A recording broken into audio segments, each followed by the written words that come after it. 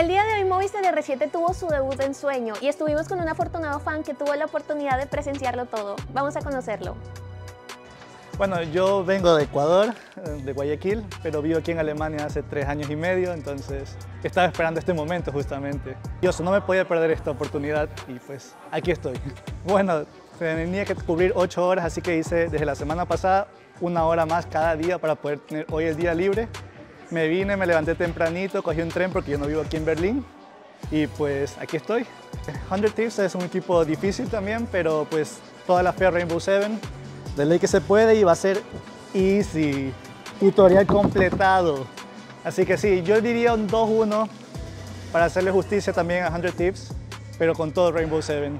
Solo venir aquí ver ya los banners de Riot Games ya es como que...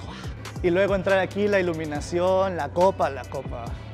El gorrito de Timo, todo, todo se ve increíble. Y ya quiero estar adentro apoyando el equipo, ya viendo.